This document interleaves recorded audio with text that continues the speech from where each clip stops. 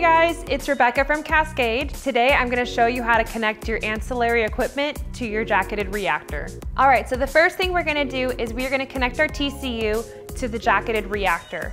We're gonna connect the bottom to the output and then move to the top connected to the input. You wanna connect the bottom hose to the out and the top hose to the in.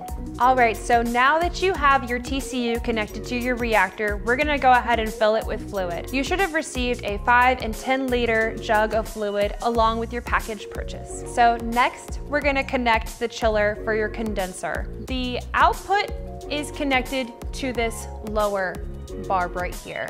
And then the input is connected to the second to the top. And these will be fed along the back with braided hose over to your chiller. Once your condenser is connected to your chiller, we can go ahead and fill it. We like to use an ethylene glycol mixture. So on the left, we have the output, which is connected to the bottom hose barb on your condenser. And on the right, we have the input, which is connected to the second to top barb on the condenser.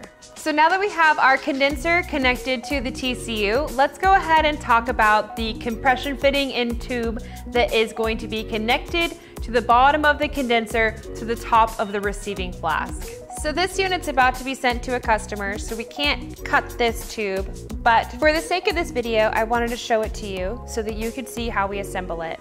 So you take the compression fitting, which it should be attached to the tubing, and then you just hook it onto the glass and then hand tighten it. So now we're ready to hook up the vacuum pump. You will take your braided vacuum hose and attach it to the top barb on the condenser and wind it back and connect it down onto the inlet valve of the vacuum pump. So you're going to connect your vacuum hose to the inlet valve on your vacuum pump. When it comes to purchasing your vacuum pump, you either will receive a hose barb or a KF25 fitting, depending on the model. If you purchase through Cascade Sciences, all fittings will be included.